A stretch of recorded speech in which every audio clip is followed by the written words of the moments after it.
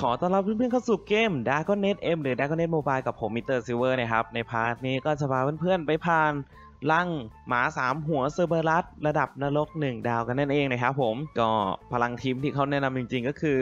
ตัวละครต้องมี BP ถึง 1 0 0 0 0แสนหนึ่งนะครับ แต่เราจะผ่านด้วยทีมพลังประมาณ 80,000 90,000แล้วกันนะฮะ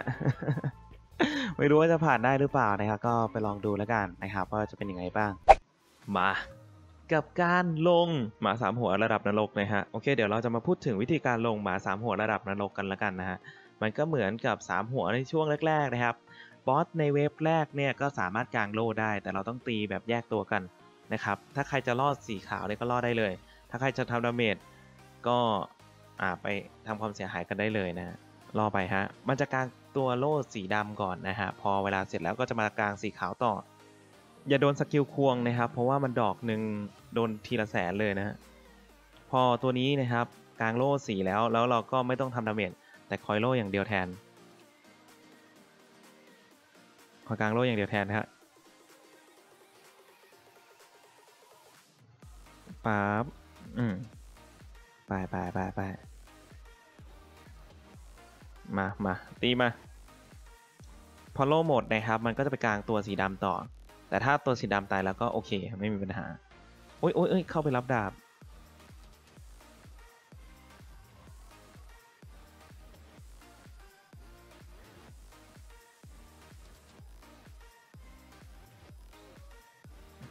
ไปฮะ วิธีการเพิ่มเลือดนะครับ นอกจากเราจะใช้พาราดีนแล้วยังสามารถเก็บเนื้อได้อีกด้วย แต่ไม่สามารถเกิดได้ นี่แหละก็คือข้อเสียของระดับนรกนะฮะ อ่า wave ที่2นะครับผมแนะนำให้ลากคู่มาดังนี้แล้วกัน ตัวสีแดงจะวิ่งวิ่งชนมาก่อนหนึ่งที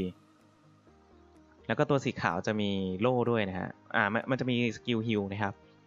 ซึ่งจะเราสามารถขัด skill ได้ฝันฝันอ่าในช่วงจังหวะนี้นะฮะต้องช่วยกันขัดคือถ้ามี damage พอก็จัดไปได้เลยแต่ถ้าไม่พอก็ตามนั้นครับผมจิบจิบจิบจิบจิบจิบสับสับสับเอาไปหนึ่งกระบวนท่า เปิด buff damage ให้เพื่อนซึบซึบซึบซึบสาวสาวสาวสาวสาวอ่าแล้วก็เลี้ยงเลือดให้ได้สองสองตัวด้วยนะครับ ถ้าไม่เลี้ยงทั้งสองตัวเนี่ย ถ้าตัวใดตัวหนึ่งตายเราต้องเก็บอีกตัวให้ได้ภายในสิบวิ งั้นเดี๋ยวจะตายก่อนนะฮะ งั้นเดี๋ยวไม่ใช่ งั้นเดี๋ยว the boss จะเกิดต่อนะฮะ แต่ถ้า damage พอหรือเหลือก็สบายๆนะฮะ อย่างนั้นก็ได้เลยนะครับผม รอเลือดเด้งนะครับ แล้วก็ไปลุยต่อที่ wave ที่ 3 wave ที่3นะครับ จะเป็น wave ทำ damage ที่ยากหน่อยนะครับผมเพราะว่ามันมีหลาย skill เราต้องคอยหลบ มันจะมี skill พวกอ่าวงไฟบ่อไฟตีถีบนะฮะอะไรประมาณนั้น อันนี้เราได้คนจะข้าม serv มาช่วยนะฮะเลเวลสามห้าเลยทีเดียวปั๊บเอา skill เจาะอ่าเจาะเกาะมาทำให้มันรับความเสียหายได้เยอะขึ้นพอมัน skill นี้เสร็จปุ๊บมันจะเป็นวงไฟต่อนะฮะ อ้าว ไม่ใช่ครับผม บอกได้เลยว่าวิ่งฮะ จังหวะนี้วิ่งวิ่งเอา skill ไปปับปับปับปับอืมอืมอืมอืม ulti ยัดเลยแล้วกันฮะ วงไฟก็วงไฟเขาเรียกว่ายืนแลกยังไง เราก็โดน damage อยู่แล้วตึบตึบตึบตึบตึบตึบมันจะมีวงน้ำแข็งนะครับ ถ้าเรายืนอยู่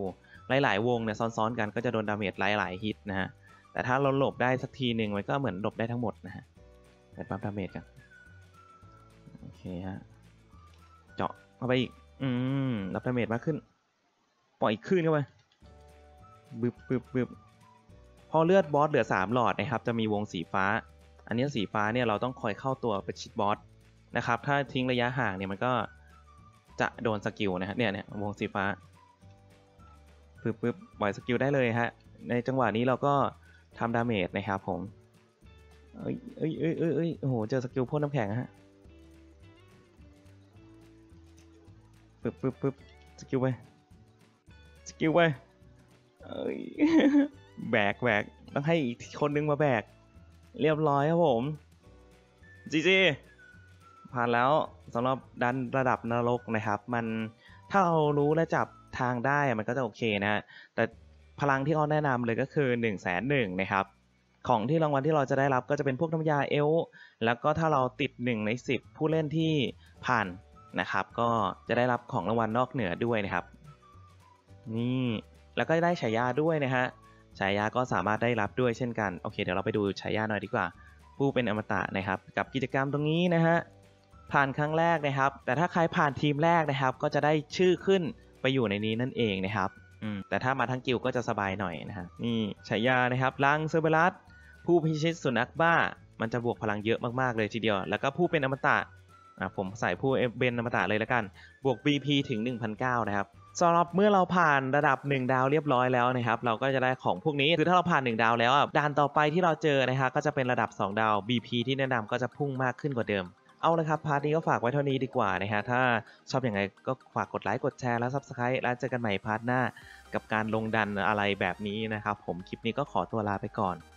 see you again นะฮะอืมแล้วคนนี้สาว damage สาว damage เฮ้ยเอาเรื่องอะอยู่ใน buff พอดีนะฮะเร่ง damage สักนิดหนึ่งมาดูว่าเราติดอันดับได้หรือเปล่านะฮะแต่ผมว่าน่าจะติดยากแล้วล่ะโดยจากทรงนะ เพราะว่าแต่ละคนเนี่ยโอ้โห โดยเฉพาะคุณจูนนะครับ damage นี่ไปแรงแล้วก็เร็วมากๆ เพราะว่าพลังรบน่าจะเกือบเกือบสองแสนได้แล้วนะ เยอะมากเยอะมากซับเข้าไปซับเข้าไปซับเข้าไป